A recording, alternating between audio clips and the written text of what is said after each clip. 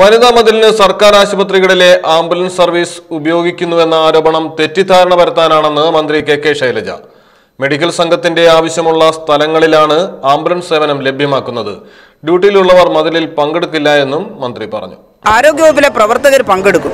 പക്ഷേ ഡ്യൂട്ടിയിലുള്ള ഒരാളും അന്ന് പോകില്ല ആ സമയത്ത്. സാധാരണ ഇത്തരം പരിപാടികളിലെടുത്ത് അങ്ങനെ അങ്ങനെ ഏതെങ്കിലും സ്ഥലത്ത് മെഡിക്കൽ സംഘത്തിന്റെ ആവശ്യമുണ്ടെന്ന് ആരെങ്കിലും ആവശ്യപ്പെട്ടാൽ അവിടെ നമ്മൾ കൊടുക്കാറുണ്ട്. അമ്പലപ്പറമ്പിൽ ഉത്സവം നടക്കുമ്പോൾ കൊടുക്കാറുണ്ട്. പള്ളികളിൽ ഉത്സവം നടക്കുമ്പോൾ കൊടുക്കാറുണ്ട്. അതുപോലെ ഏതെങ്കിലും വലിയ ആഘോഷ പരിപാടികൾ നടക്കുമ്പോൾ കൊടുക്കാറുണ്ട്. ആ തരത്തിലാണ് പറഞ്ഞത്. അല്ല ആംബുലൻസിൽ ആളെ കൊണ്ടുപോകാനല്ല. ഒരുപാട് ആളുകൾ കൂടുന്നിടത്ത് എവിടെയെങ്കിലും ഡോക്ടർമാരുടെ സൗകര്യം വേണം എന്ന് പറഞ്ഞാൽ അവിടെ കൊടുക്കും പ്രത്യേകിച്ച് അത്രേ ഉള്ളൂ. അല്ലാതെ ഈ വനിതാ മതിലെന്ന് പറഞ്ഞ ഗവൺമെന്റിന്റെ സപ്പോർട്ടോട് കൂടി നടത്തുന്ന ഒരു കാര്യമാണ്. അപ്പോൾ സർക്കാർ ജീവനക്കാർക്ക് എല്ലാവർക്കും അതിൽ പങ്കെടുക്കാം.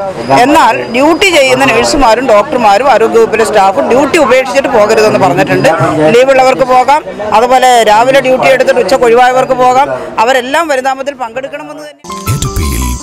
Paints and hardwares Thrissur road Valanchery